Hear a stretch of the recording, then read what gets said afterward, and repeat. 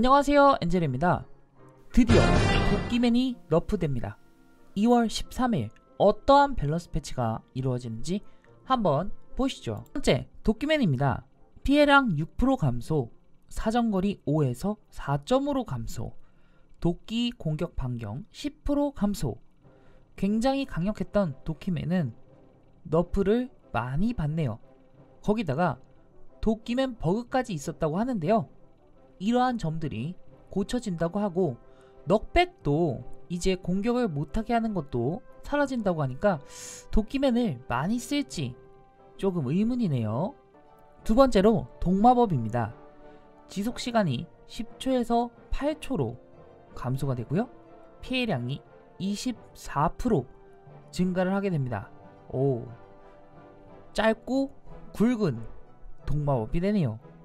나쁘지 않은데요. 세 번째로 마녀의 피해량이 6% 증가합니다. 마녀가 조금 상향을 먹네요. 네 번째로 페카입니다. 배치 시간이 3초에서 1초로 감소가 됩니다. 페카가 이제는 엘리트 바바리안의 카운터 혹은 호그라이더의 카운터가 될 수 있을까요? 지켜봐야겠네요. 첫 번째 다크 프린스입니다. 다크 프린스의 체력이 5% 증가합니다.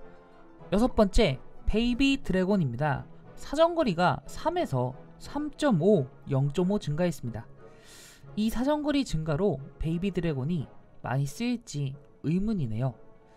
한번 지켜봐야겠죠? 페카 베이비 드래곤 deck도 한번 생각해 봐야 될 것 같습니다. 자 마지막으로 해골 병사 시리즈인데요. 해골 군대가 16마리에서 15마리로 바뀌었고요. 해골 병사가 3마리에서 다시 4마리로 변경되었습니다.